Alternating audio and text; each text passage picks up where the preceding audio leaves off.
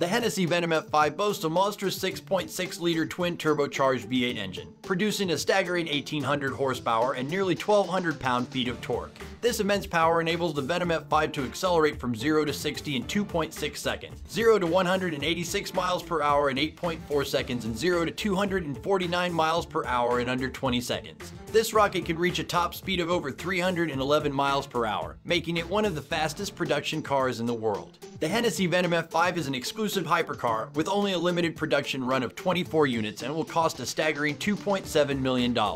Each car is meticulously crafted and customizable to meet the owner's preferences, making it a truly unique and highly sought after hypercar.